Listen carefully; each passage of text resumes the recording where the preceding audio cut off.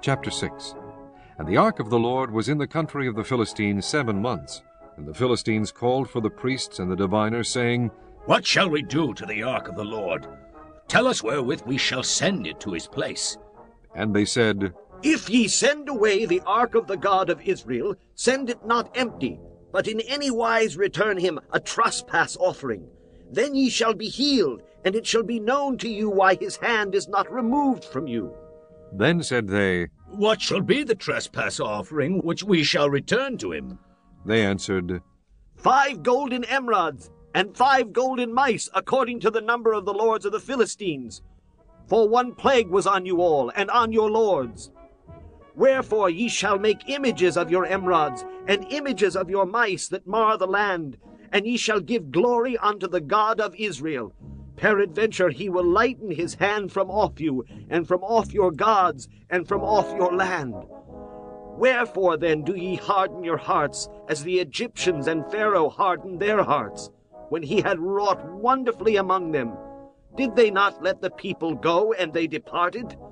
Now therefore make a new cart, and take two milch kine on which there hath come no yoke, and tie the kine to the cart, and bring their calves home from them.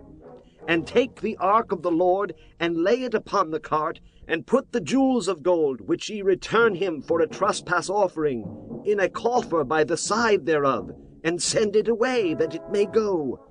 And see, if it goeth up by the way of his own coast to Beth Shemesh, then he hath done us this great evil. But if not, then we shall know that it is not his hand that smote us. It was a chance that happened to us. And the men did so, and took two milch kine, and tied them to the cart, and shut up their calves at home.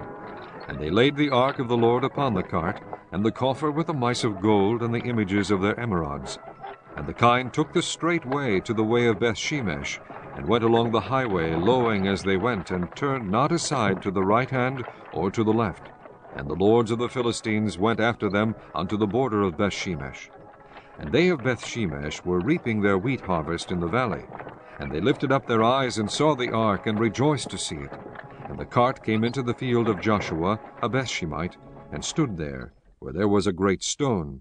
And they clave the wood of the cart, and offered the kine a burnt offering unto the Lord. And the Levites took down the ark of the Lord, and the coffer that was with it, wherein the jewels of gold were, and put them on the great stone. And the men of Beth Shemesh offered burnt offerings and sacrificed sacrifices the same day unto the Lord. And when the five lords of the Philistines had seen it, they returned to Ekron the same day. And these are the golden emerods which the Philistines returned for a trespass offering unto the Lord. For Ashdod one, for Gaza one, for Ashkelon one, for Gath one, for Ekron one.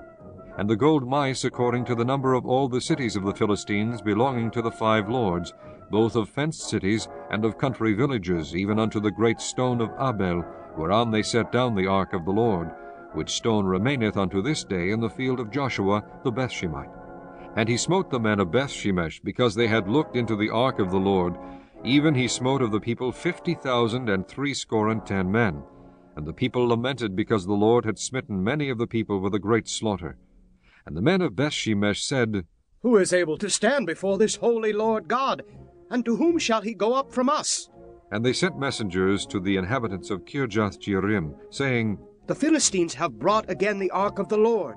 Come ye down and fetch it up to you.